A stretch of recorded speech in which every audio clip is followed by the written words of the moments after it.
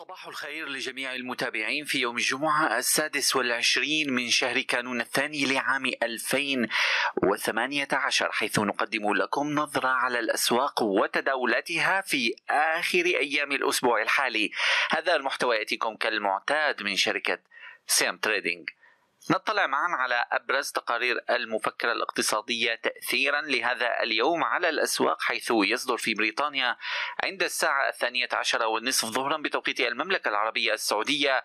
تقريران الأول عن إجمالي الناتج المحلي على أساس ربع سنوي والتقرير الثاني على أساس سنوي.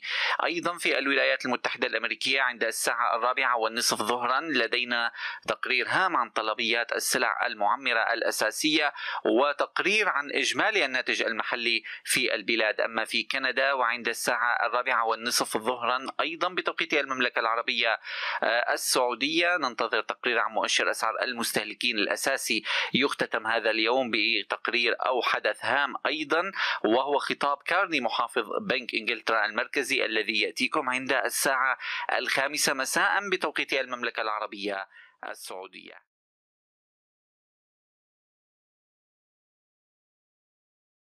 بالانتقال إلى القسم التقني من حركة السوق. ندرس معا كيف كان سلوك الأزواج خلال اليوم السابق ونبدأ كالمعتاد من زوج الجنيه الاسترليني مقابل الدولار الأمريكي حيث استطاعت الأسواق تسجيل قمة سعرية جديدة بالنسبة لسعر صرف الجنيه الاسترليني مقابل الدولار الأمريكي وصلت بالأسعار إلى ما يقارب مستوى ال 1.43500 وهو من المستويات المتقدمة للغاية التي سجلها الجنيه الاسترليني مقابل الدولار خلال السنوات القليلة الماضية بعد بعد قرار خروج بريطانيا من الاتحاد الأوروبي. طبعا بعد أن سجل السوق هذا المستوى تراجع بشكل كبير خلال فترة التداولات الأمريكية وحتى ساعات الإغلاق الأخيرة ووصل إلى مستوى الدعم 1.41 139 وكذلك مستوى ال 1.41 471 كلا المستويان كان من مستويات المقاومة الهامة التي دفعت الأسعار للارتفاع من جديد ساعات الصباح الأولى من يوم الجمعة.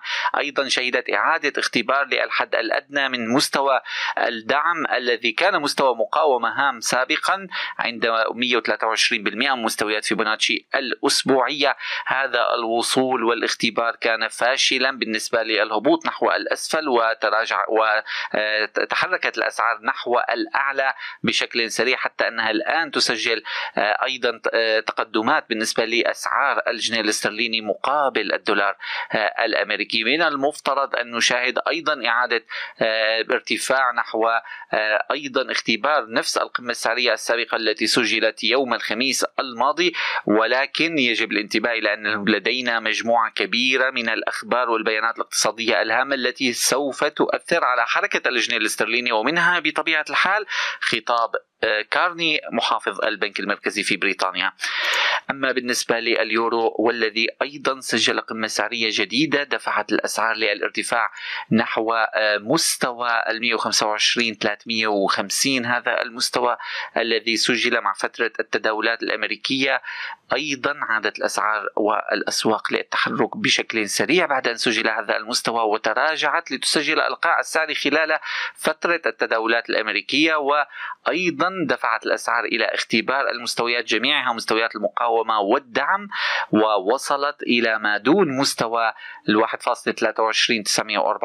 الوصول كان خلال فترة التداولات الأمريكية يوم أمس إلى أن الأسواق عادت لترتفع بشكل طفيف لتنحصر التداولات ما بين آه، مستوى المقاومة 1.24307 ومستوى الدعم 1.23944 آه، أما في يوم الجمعة ومع ساعات الصباح الأولى آه، طبعا افتتحت الأسواق ما دون هذا المستوى وارتفعت بشكل متتالي نحو الأعلى لتسجل أيضا القمة السعرية لهذا اليوم عند مستوى ال 1.24 544 من المتوقع أيضا أن تكون هنالك حركة تصحيح للأسعار خاصة مع الارتفاعات الكبيرة التي سجلت على اليورو. لا ننسى أن هنالك تصريح وحديث هام للرئيس الأمريكي. كان يوم أمس قال أنه يتوق لرؤية الدولار الأمريكي.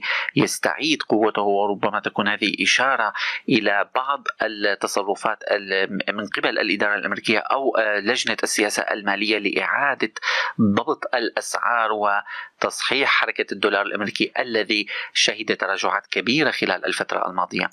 أما بالنسبة للذهب فأيضا سجلت قمة سعرية جديدة يوم أمس مع وصول الأسعار إلى مستوى 1360 دولار للأونصة الذهبية بل تجاوزه بقليل ووصلت الأسعار إلى تقريبا آه، مستوى 1365 1366 دولار تقريبا. لكن هذا الوصول كان مؤقت حيث تراجعت الأسعار خلال فترة التداولات الأمريكية بواقع كبير للغاية.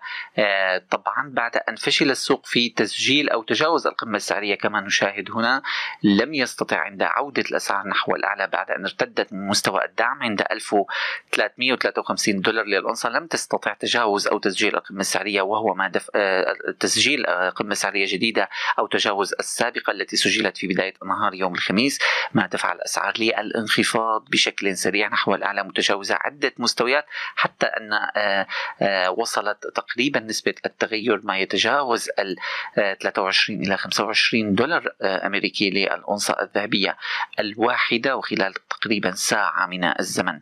طبعا الوصول كان بشمعات ذات ذيل طويل عند مستويات ال 1343 دولار 1345 دولار تقريبا للأونصة الذهبية وهي مستويات مقاومة. هامة تشكل 50% من مستويات فيبوناتشي الأسبوعية.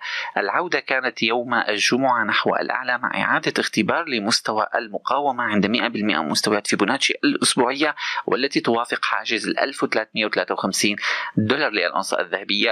الفشل كان واضح في آه، تجاوز هذا المستوى حتى ساعة سابقة قبل ساعة تقريبا استطاعت الأسعار فعليا الارتفاع وإغلاق أول شمعة بشكل طفيف فوق هذا المستوى لكن هذا الوصول لا يمكن اعتباره حقيقي وكسر دائم وثبات فوق الأسعار لأن المستوى أو الرينج السعري لا يزال قليل للغاية ولا يتجاوز نقطة أو نقطتين بالنسبة لأسعار الذهب.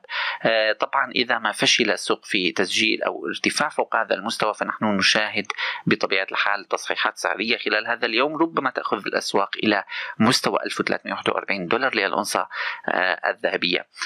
آه، فعليا كانت هذه نظرة على الأسواق آه، والتحليل التقني لها والذي تعامل مع ساعات الصباح الأولى من تداولات يوم. الجمعة نتمنى أن تكون المعلومات المقدمة لكم مفيدة ونتمنى لكم نهاية أسبوع سعيدة على أمل أن نلقاكم صباح يوم الاثنين المقبل بإذن الله.